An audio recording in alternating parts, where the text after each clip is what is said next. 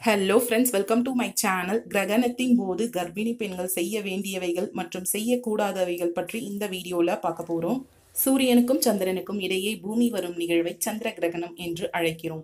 சந்திர கிரகணம் நடைபெறும் போது பூமியானது சூரியனுக்கும் சந்திரனுக்கும் இடையில் வந்து சூரியனின் வெளிச்சம் சந்திரனில் விழாமல் மறைத்து விடுகிறது. அதனால் சந்திர கிரகணத்தின் போது சந்திரனால் சூரிய ஒளியை பிரதிபலிக்க முடியாது. சந்திர கிரகணத்தின் போது சந்திரனில் இரண்டு வகையான நிழல்கள் ஏற்படுகின்றன. அவை புறநிழல் பெண்ணம்ரா மற்றும் கருநிழல் அம்ரா என்று அழைக்கப்படுகின்றன. கருநிழல் என்பது சந்திர கிரகணத்தின் போது நிலவின் மைய பகுதியில் ஏற்படும் அடர்த்தி மிகுந்த நிழலாகும். புறநிழல் என்பது சந்திரனின் விளிம்புகளில் ஏற்படும் அடர்த்தி குறைந்த நிழலாகும்.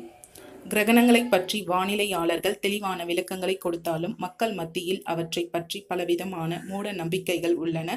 குறிப்பாக இந்திய மக்கள் சந்திர கிரகணத்தை ஒரு கெட்ட சகுனமாகவே பார்க்கின்றனர்.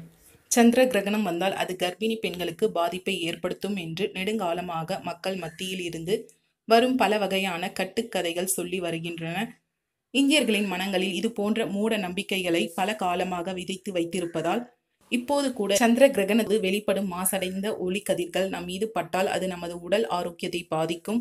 அதனால் அந்த கதிர்கள் நம் மீது படாமல் பார்த்து கொள்ள வேண்டும் என்று ஒரு நம்பிக்கை மக்கள் மத்தியில் இருக்கிறது. மேலும் சந்திர கிரகணமானது கர்ப்பிணி பெண்களையும் பாதிக்கும். அதோடு அவர்கள் வயிற்றில் வளரும் குழந்தைகளின் உடல் மற்றும் மன ஆரோக்கியத்தையும் பாதிக்கும் என்று நம்பப்படுகிறது. அந்த நம்பிக்கையின் அடிப்படையில் சந்திர கிரகணத்தின் போது கர்ப்பிணி பெண்கள் செய்யக்கூடாதவைகள் பற்றி இந்த வீடியோவில் பார்க்கலாம்.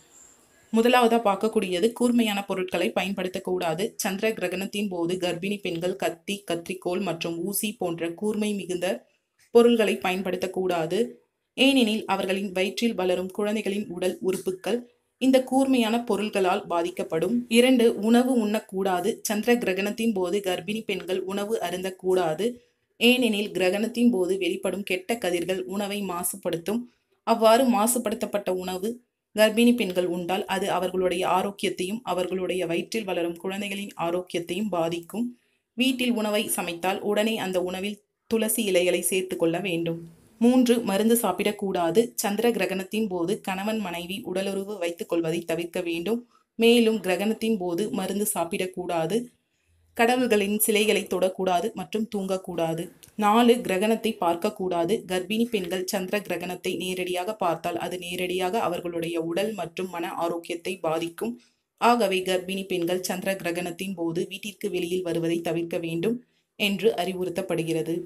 கிரகணத்திற்கு பெண் குள வேண்டும். சந்திர கிரகணம் முடிந்ததும் கர்ப்பிணி பெண்கள் குளிக்க வேண்டும். அவ்வாறு குளிக்கவில்லை என்றால் அது அவர்களின் வயிற்றில் வளரும் குழந்தைகளுக்கு தோல் சம்பந்தமான பிரச்சனைகளை ஏற்படுத்தும் என்று நம்பப்படுகிறது. சந்திர கிரகணத்தால் ஏற்படக்கூடிய ஆபத்துக்களை தவிர்க்க வேண்டும் என்றால் கிரகணம் முடிந்தவுடன் கர்ப்பிணி பெண்கள் குளிக்க வேண்டும்.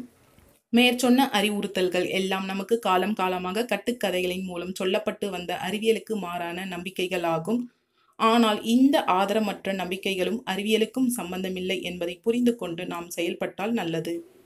ஃப்ரெண்ட்ஸ் இந்த தகவல் உங்களுக்கு பயனுள்ள தகவலாக இருக்கும்னு நினைக்கிறேன். பிடிச்சிருந்தா லைக் பண்ணுங்கள் ஷேர் பண்ணுங்கள் என்னோட சேனலை சப்ஸ்கிரைப் பண்ணாமல் இருந்தால் சப்ஸ்கிரைப் பண்ணுங்கள் தேங்க்யூ